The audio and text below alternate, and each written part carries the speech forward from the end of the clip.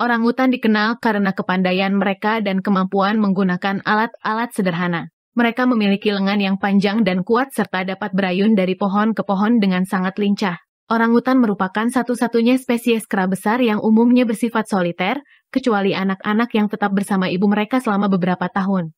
Habitat orangutan semakin terancam oleh deforestasi, pembukaan lahan pertanian, dan perburuan ilegal. Orangutan masuk dalam daftar spesies yang terancam punah, dan upaya konservasi diperlukan untuk melindungi dan mempertahankan populasi mereka.